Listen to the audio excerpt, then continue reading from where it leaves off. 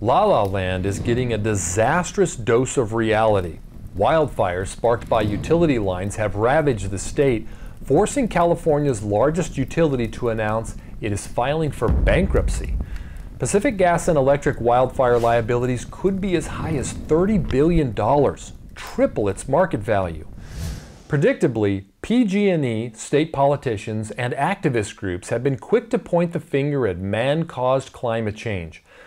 That excuse might be convenient, but it's far from accurate. University of Washington climate scientist Cliff Mass told the Daily Caller that climate change had little to do with the state's massive wildfires. A 2016 National Academy of Sciences paper agrees with that assessment. The NAS concluded the risk of any individual fire depends on forest management, natural climate variability, and human activities in the forest. Consider that for decades, California's restrictive zoning laws in urban areas have incentivized people to build millions of homes in fire-prone regions. PG&E couldn't keep up with the enormous amount of work needed to be done in replacing old and poorly maintained infrastructure while trimming millions of trees in a service area the size of Florida. State leaders should have allocated a lot more money to reduce the fire danger risk, but PG&E customers are already paying about 65% more than the national average for electricity, largely because of the state's love affair with wind turbines and solar panels.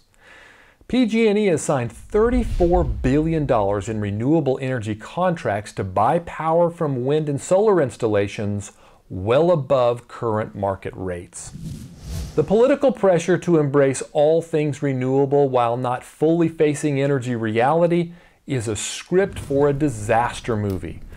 But this horror flick is real, and ultimately, the citizens of California will be picking up most of the tab for their state's energy mismanagement. Unfortunately, the scripts for more California wildfire disaster sequels are still being written, but man caused climate change is not the villain.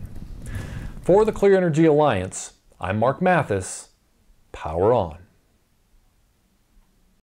Thank you for watching this video. Please subscribe to our YouTube channel to be notified when new Power On videos are released and follow our social channels for more great energy content.